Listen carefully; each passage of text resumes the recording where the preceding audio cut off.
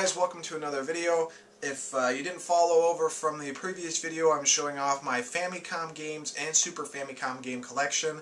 I thought I was going to be able to do both in one video, but unfortunately I ran out of time, even with our brand new 15 minute time limit here. So um, I'm going to go ahead and run through the Super Famicom games that I have, but just a quick disclaimer, some of these games only have the Japanese writing on them, and I may not be familiar with what it actually is, uh, or what its American counterpart is. Uh, and if I may know the Japanese name for it, I will probably most likely mispronounce the name and butcher it. So if I butcher the name to your favorite Japanese game, I apologize in advance. But uh, let's go ahead and get this going, and we're going to start here with Fighter's History by Data East, which is an interesting game because uh, Capcom actually sued Data East for this, saying that they basically ripped off uh, Street Fighter, Street Fighter 2 for that fact. And uh, Data East actually won the court battle. The judge said that you can't really decipher uh, what the differences were between the game, and there were some similarities, but it could be just simple coincidences. So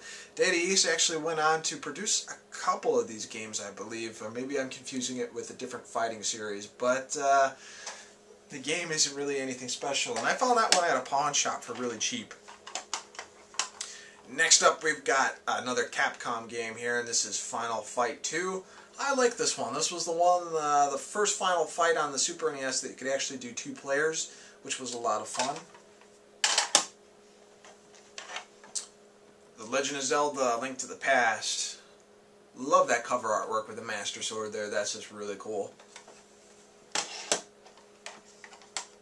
And another Capcom game, Street Fighter 2 kind of enjoy the artwork for this a little bit better than the uh, American counterpart that I had. I always thought the artwork in the American version was kind of cheap. Or cheesy, rather. Uh, this one, I don't know what the Japanese name of it is, but by looking at the characters, I know this is an SNK game, and this is Art of Fighting. This was an alright port, but uh, nowhere close to what uh, the actual Neo Geo version had. Next up, we got Contra 3, The Alien Wars. Man, this game kicked so much ass when it came out on the Super Nintendo. This was tons of fun. Me and my little brother really loved this. Don't know what the Japanese name is, but I do know that this is Fist of the North Star, and apparently it is Fist of the North Star 6. It's a pretty bad fighting game. It plays like real crap. Puzzle Bobble, which I believe is known as uh, Bust a Move here. That may be incorrect, but you shoot these bubbles and pop them. decent puzzle game. Pilotwings. This was a fun Mode 7 game. I, I played this a lot when the Super Nintendo came out. Lots of good stuff there. Let me grab some more games here.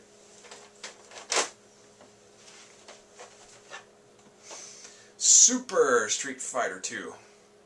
Great game. Uh, Eh, a little bit of better cover art than the uh, American version. The American version had the bricks, but uh, not too many differences in this other than your standard boss names are different, just like any Japanese compared to American release.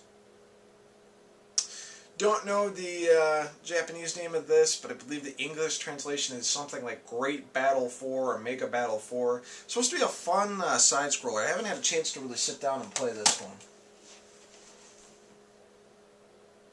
This is Ranma 1 half. I believe this is maybe the second game in the series. It's an alright fighting game. It's nothing uh, incredible, but uh, eh, it's alright.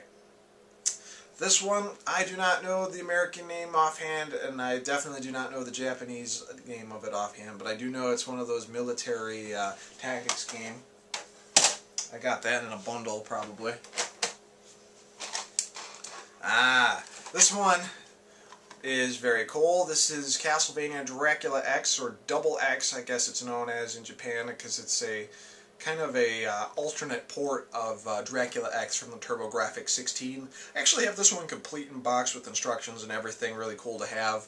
Uh, this is kind of a rare game, especially if you have the American version of it. I guess the Japanese version is somewhat rare, though it's more pricier than rare, I think. Fun game, really love the music. Not as good as the TurboGrafx version, but whatever. Dragon Ball Z, not that good, in my opinion. Disney's Aladdin, and I want to say that I thought this was a bootleg. I don't know if this didn't come out over there, or maybe I'm thinking of the NES version, but I thought this was a bootleg. Sega Genesis version of Aladdin was better.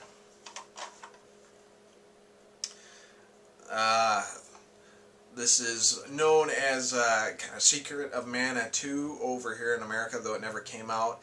And uh, I can picture the Japanese name of this in my head, and I can already tell that I'm obviously going to butcher it, so I'm not even going to attempt to try to say it. But uh, this is basically the sequel to Secret of Mana. It had the same kind of gameplay and everything. Really good game. Played this years ago on a ROM that was translated. Lots of fun. Super Donkey Kong Country 3. Uh, by after 2, I really wasn't interested in Donkey Kong games. I love the first one, but I wasn't a big fan of 2 or 3. And I think actually in Japan it's just known as Super Donkey Kong, not Donkey Kong Country. But this is the third one.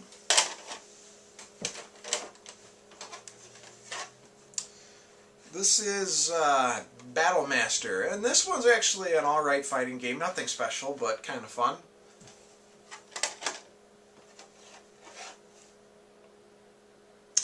Have no idea what game this is, and uh, I can't even tell you how it plays. I don't even know if I actually popped this one in, so uh, this one's a surprise to me. Samurai Spirits. This is also known as Samurai Showdown here. This is another Neo Geo port.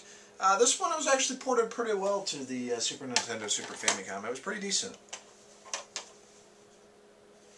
This one is Rushing Beat. Uh, this game had actually three series over here in America. Um, we had three games. All three were brought over as well.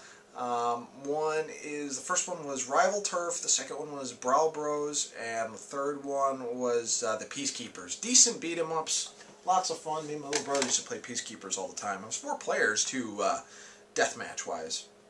Another uh, Ranma 1 half game, I think this one is actually the sequel. Another fighting game. It's alright.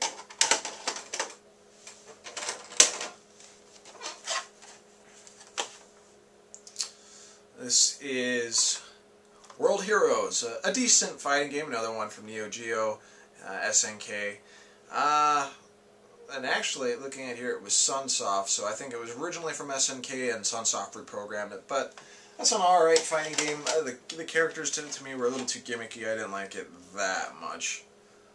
Live a Live is a uh, another RPG by Squaresoft here, and uh, the game I think plays by different episodes, and they all kind of tie into each other. I've only briefly played this one because I do have a uh, translated version of this for my Super Nintendo Power Pack. So, Smash TV. This was kind of fun. This is one of the better ports of uh, Smash TV.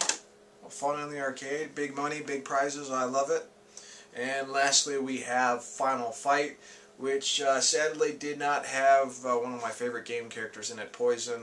Uh, she was edited out, and uh, you wouldn't see her till obviously the Sega CD version, and even then she was still edited.